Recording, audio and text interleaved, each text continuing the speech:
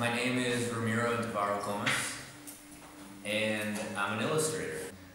So the exhibition is called Imagination Land, and um, it's been a one-year project, and I've been traveling for one year. So last year I lived three months. It started in Berlin in July, so I did three months in Berlin, one month in Amsterdam, two months in Barcelona, and then I went to the States to do my other six months in the States, and I did um, one month in Providence in Rhode Island, um, and then two months in New York, and then the other three months I was in my house, in my studio, um, working and getting things ready because coming back from traveling, I had to do. People wanted to buy paintings, so I just had to do the business side of it.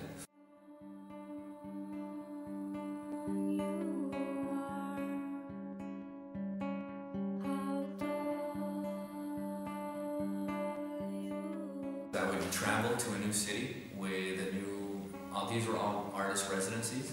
So I would travel to the new city with the residency and um, there I would create a new series. So the one in Berlin was called Beerlin. In Amsterdam it was Hamsterdam. Um, so that's, that's the way that, um, that I developed them. And Imagination Land, which is this exhibit, and the book that's coming out later this month, um, that is the selection in the umbrella of all the, uh, the series.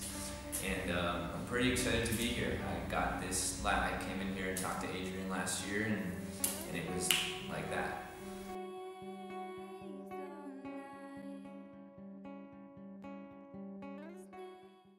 Like something like Art Connect Berlin where you can look at other galleries and you can connect with other specifically Berlin um, Berlin-based artists um, is really good. It's really important. I think every city should have something like that.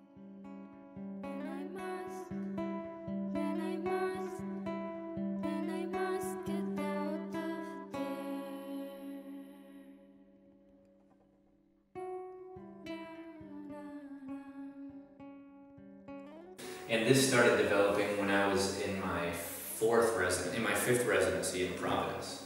Um, in Rhode Island and I really, really started pushing um, this because I really wanted to create a whole, a whole new world. Um, and I, I don't know, I, I really loved it and this is now where I'm going. I'm going to be going this way.